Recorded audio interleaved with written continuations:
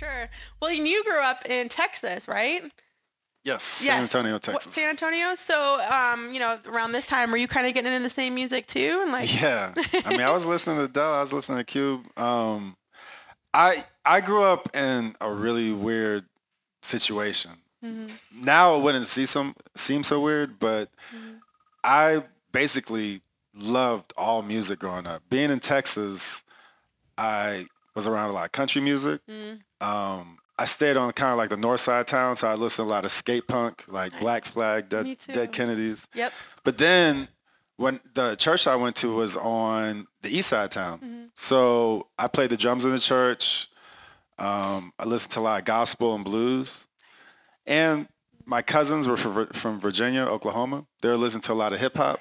And so whenever I go see them during summer, I would come back with like hip hop mixtapes. My mom was really into classical music, and my dad plays jazz. So I always had to go to Mhm. you know, symphonies every single month. I had to go to at least two symphonies. And my dad was playing the piano every single morning.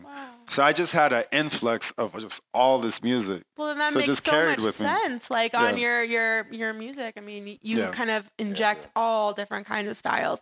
And that's what I really like about the new Del record, too, or Del and Amp live record, I should say. Um, it has so many different elements, and that was really brilliant to me. And the way that you were able to tie it together and make it so seamless for me was very impressive.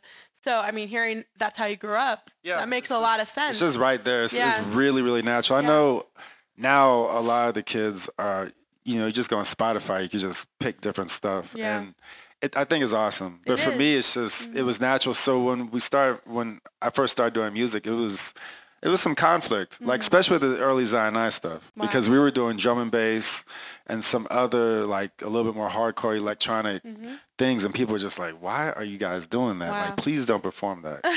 Like, we just want to hear boom bap." Oh yeah, No. yeah. There, there was, Yeah. There was a situation where we were warned not to do that, and No way. it was a lot. It was, it changed our career. The fact that we kind of stepped out and like did something different, but Uh-huh. people were just like, "Do not." You're in a great position at the show. Do not do that song. What? Well, I, you came and did a show for us in Santa Fe, and what, what was that 2010? And Yeah. you freaking blew my mind. Like I loved Thank all you. that stuff, like the bass heavy. Oh, you still got the bass though on Del's record too. This Yeah, new yeah. record, wow.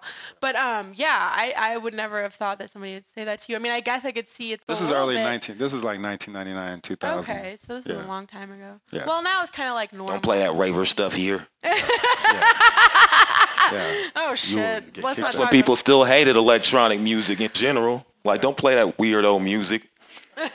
now, now it's there ain't nothing else everywhere. but it now. But know. I, remember though, it was like, don't play that. that Wow. Why are you playing that? Wow. Yeah, that's interesting.